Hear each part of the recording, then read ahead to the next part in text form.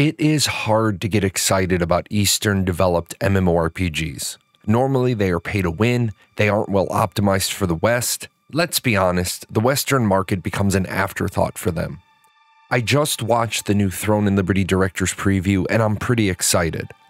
We've been hearing about Project TL, Lineage 3, Lineage Eternal since 2011. The game has gone through a lot of changes over the years, morphing from an isometric game into a full blown, multi platform action combat MMORPG developed in Unreal Engine 4. Now, it is important to note that the game is available on PC and console, but there is no crossplay. Each group will be playing together by platform. Now, we could spend hours talking about the history of this game and its heritage and its legacy, but let's focus on the now. Eight months ago, NCSoft gave us our first real look at Throne and Liberty with an official trailer. That trailer has accumulated 9.2 million views. While some of that hype may be due to the fact the game was supposed to release in quarter 4 of 2022, that success shows there is a void in the MMORPG genre. Can Throne and Liberty fill that void? That remains to be seen, but two days ago we got this director's preview of Throne and Liberty, and it looks like it might be the solution to the current MMORPG drought. Let's take a look at some of the key features of the game and see if we can start being genuinely excited. In the video, the developers tell us that Throne refers to our players' battles and competitions. Liberty refers to the freedom to enjoy your own adventures in the game's dynamic world. And finally, and calls to mind a place of unity, where the dividing walls of nationalities and generation gaps mean nothing. Now, let's be honest, I know most of you don't care about vision or ideals behind a game, but I think given the game's now 12 year development, knowing that there is some meat behind those design decisions, more than just give us your money, is a great thing. I think the idea of Throne and Liberty is a solid one, and it makes me feel like NCSoft recognizes the change in the MMORPG space from the late 90s to today. To me, and, and this is just my opinion, it sounds like they are going to blend a healthy amount of solo things you can do with group content you must do. They say Throne and Liberty was designed for everyone. Its slogan is one for all, all for one. To start with races and classes, the players will play as humans, but the world has elves and orcs. There is no Holy Trinity in Throne and Liberty. You choose two weapons, you upgrade them, you can change these choices at any time. You create your class for yourself. That is an amazing idea, and it, I'm excited to see how that plays out. The character creator sounds like it's going to be insane, as they are allowing you to create a character based on actual photos. Now, if this is, is true or not, if it works or not, that remains to be seen, but I am stoked for it. The ability to make your character how you want it in creation, how you want to be one with your character, that is so important on so many levels. But this freedom of class that they talk about, that leads directly into combat, which at face value seems like it's going to be a very fast paced action combat game using those two weapons to combine combos to exploit and even create weaknesses. Talking about a combat system before we see the nuts and bolts of it is really kind of pointless, but I can say this. Given the fluidity that other NCSoft games have in their combat design, Throne and Liberty may be the game to look out for if you're an action combat fan. Now, with Throne and Liberty being infused with the spirit of Lineage, we have to talk about PvP rules. And for people who remember with dread the rules of Lineage 2, don't worry. Throne and Liberty has more forgiving PvP rule sets. Most of Throne and Liberty's fields are safe zones. However, certain events will allow combat to occur, and world bosses is one of them. I think this is a great idea and something all MMORPGs need to look at. World bosses should always be open PvP zones so guilds, groups, alliances can contest world boss completion.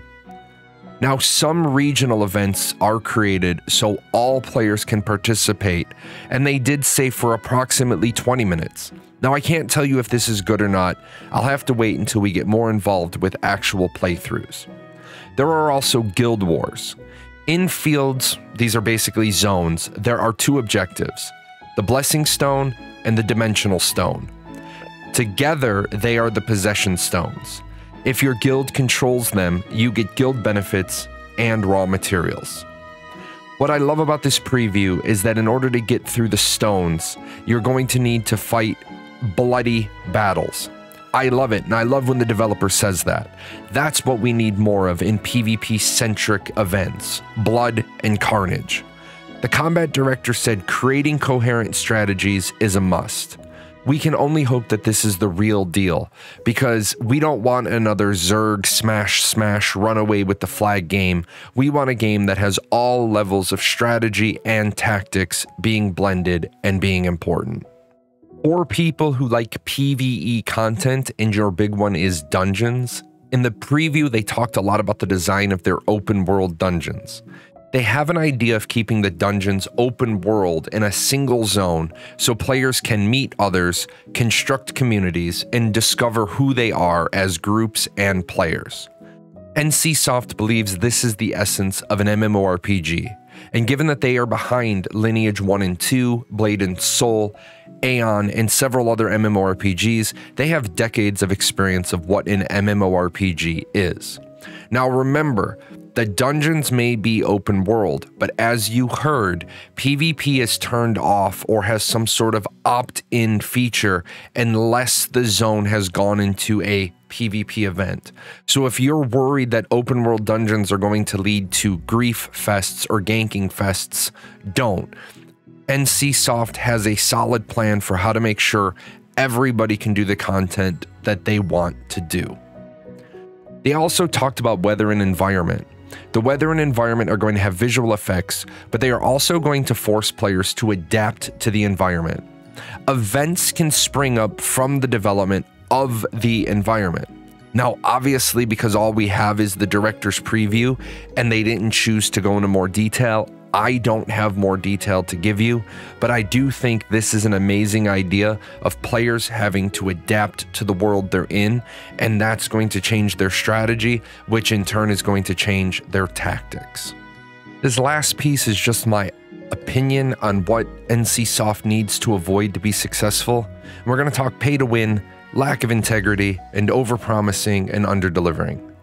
On the pay to win note, during a previous Q&A session, NCSoft executives promised Throne and Liberty would avoid excessive pay to win elements. There were some major hints of some sort of battle pass system, but the game itself is designed in a way that avoids pay to win. That's really how games should be. But this seems like a little too much marketing speak for me, just a little bit too much buzzword bingo. Pay to win is pay to win. It's a yes or no question. Do you have it or not? Excessive pay to win starts to become a very subjective statement and is a very personal decision. Some gamers are okay with a little bit of pay to win, some are okay with rampant pay to win, and there are those that find any pay to win to be an immediate turnoff. I think if NCSoft really wants to make Throne and Liberty successful, they need to tell us what the pay to win looks like right up front. They need to tell us what the battle pass looks like right up front. They will suffer the brunt of anger being the first MMORPG to launch in a long time if it's littered with pay to win. The other problem with many MMORPGs in development lately are they are promising everything, but they can't deliver. I've spent the last few days looking over everything that NCSoft has put out, and I can't find any major areas of concerns. And you guys know that's what I do. I dig and I dig and I dig until I find a string to pull on. And for this section of the video, it's really a bust. I don't have a overpromise and under-delivering concern. Other than that little bit of pay to win concern, and some of that may be a language barrier thing between English and Korean, I'm going to tell you right now for Throne and Liberty, I'm sitting at a hype nine, a confidence eight and a half. what I'm going to do now is I'm going to sit down, I'm going to look at the schedule, and I'm going to figure out how I can put more Throne and Liberty in the video production schedule. There's not a lot. I don't want to over milk the cow. Uh, I will see you guys in 2023 as soon as we have more uh, Throne and Liberty news. I may do some streams on it. I may do some shorter stream segments on it, but I definitely see myself playing Project TNL in half one 2023. So let me know. Are you interested? Are you going to be playing? Are you? It's immediate turnoff because it's an Eastern game. Let me know what you're thinking and let's have a discussion about it. I'll see you guys next time.